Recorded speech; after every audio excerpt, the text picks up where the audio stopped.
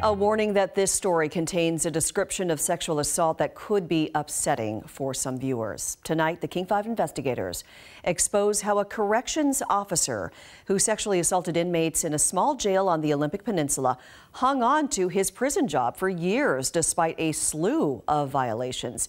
Taylor Mirfendereski spent months digging into his case. Here's a look at what's coming up. It's humiliating. It's violating. What happened to Morgan Lee more than two years ago still keeps her awake at night. It didn't feel real.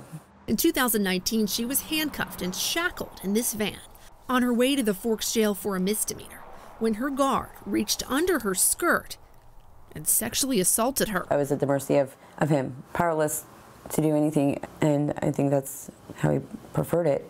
Lee reported the assault, and early last year she watched on Zoom.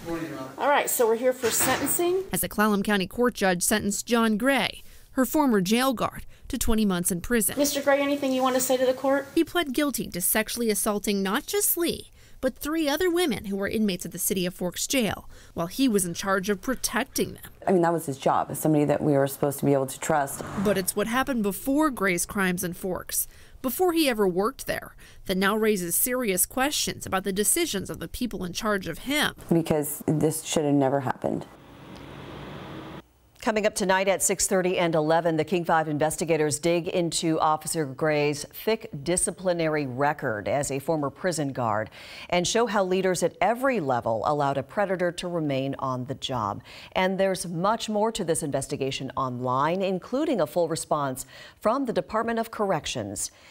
If you want to read that, you can text the word prison to 206 448 4545. We'll send you a link.